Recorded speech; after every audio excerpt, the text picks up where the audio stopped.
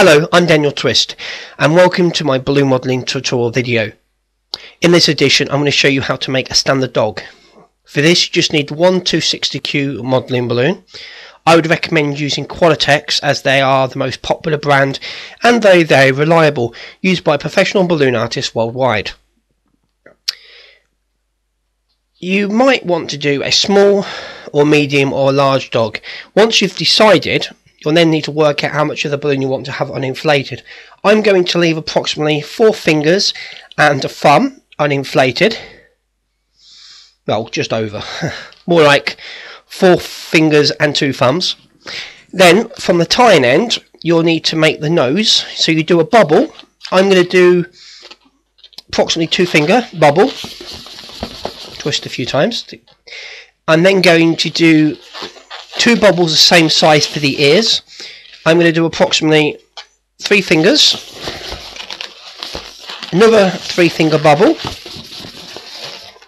You lock twist these two bubbles to secure them and to form the ears. You take the first bubble, push it through the two bubbles to secure it. Then going to create the neck. For this, I'm going to do a two finger bubble. The front legs, very similar to the two ears.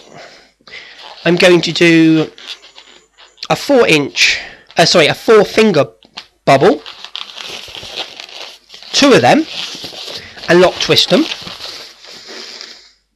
I'm then going to take this part of the balloon and I'm going to push it through these two bubbles once again to secure it. Whoops, drop that on the floor. that was good. I'm probably going to get a dislike now for doing that. I am then going to do a three inch, uh, sorry, a three finger bubble. I keep saying three inches, three finger bubble. I'm then going to do the back legs, approximately the same size as the first two. That was, uh, yeah, that was four fingers, wasn't it? So I'm going to do another four finger bubble and then twist.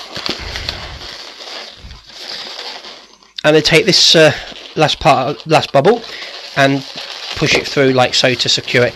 And there you have a very basic dog. I say that was the last bubble. You can give it one final bubble. You perform a little bit of magic.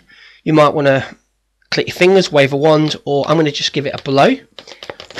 And there you have a little bubble at the end and thank you for watching my balloon modelling tour tour video. Please subscribe and okay okay I will show you how that was done. What you want to do is just here little bubble just want to give a little squeeze give a little blow and there you have a little bubble. Okay it can take a little bit of practice but there it is a very standard dog. In another video I'll be showing you how to make a poodle. Thank you for watching